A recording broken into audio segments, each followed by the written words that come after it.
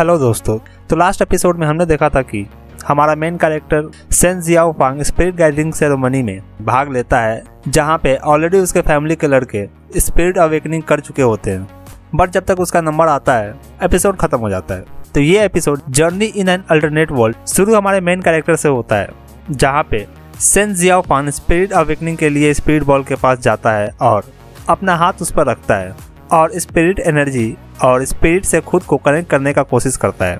ये देखकर पीछे खड़े फैमिली मेंबर और आए हुए गेस्ट भी हैरान रह जाते हैं कि शेन जियाओ फैंग कैसे इतना स्पिरिट गैदर कर पा रहा है। पीछे से कुछ लोग तो बात भी करना शुरू कर देते हैं कि कैसे सेन जियाओ ने 300 से भी ज़्यादा वाइट बीच स्पिरिट गैदर कर लिया। मगर उन्हें कहाँ पता था कि ये तो सिर्फ़ शुरुआत है। हमारा main character Xiao Fang continue spirit gather कर रहा होता है और उसे देखकर आए हुए गेस्ट कहने लगते हैं कि, क्या सच में सेन फैमिली ने एक टैलेंटेड यंग मास्टर को जन्म दिया है? ये सब चल ही रहा होता है कि, सियाओ फ़ैन व्हाइट ब्रिज से भी सुपीरियर स्पिरिट से कनेक्ट हो जाता है। करीबन सौ से भी ऊपर फैंटम स्पिरिट से कनेक्ट कर लेता है। और ये सभी स्पिरिट सुपीरियर फैंटम स्पिरिट होते हैं। इस सीन को देखकर गेस्ट कहने लगते हैं कि, क्या ये किंग स्पिरिट को समन करेगा? और और, कुछ का कहना था कि शायद ये किंग स्पिरिट को समन कर सकता है। और एक तो ये भी सोचने लगता है कि कैसे शेन फैमिली में कोई किंग स्पिरिट को समन कर सकता है? ये पॉसिबल नहीं है। एक लेडी कहती है कि अगर शेन सियाओफैंग किंग स्पिरिट को समन कर लेता है तो फिर शेन फैमिली का रैंकिंग सिटी में बढ़ जाएगा। और और ये देखकर शेन फैमिली के एल्डर कहते हैं, मेरा गैस सही निकला। ये सभी सुपीरियर स्पिरिट है और शेन फैमिली एक मास्टर स्पिरिट है और एक मास्टर स्पिरिट काफ़ी टैलेंटेड होता है। ये सुनकर सभी लोग हैरान रह जाते हैं और ये न्यूज़ बाहर तक भी फैल जाता है।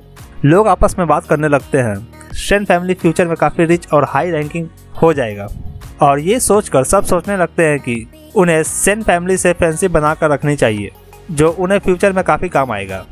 इन सब चीज़ों के बीच में सियाफांग जिस स्पिरिट बॉल पे हाथ रखा होता है, वो स्पिरिट बॉल ग्लो करना बंद कर देता है। हमारा हीरो सोचने लगता है कि ये क्या हो गया। क्या उससे कोई गलती हुई है? तभी अचानक बिजली कड़कने लगती है और बादल छा जाते हैं।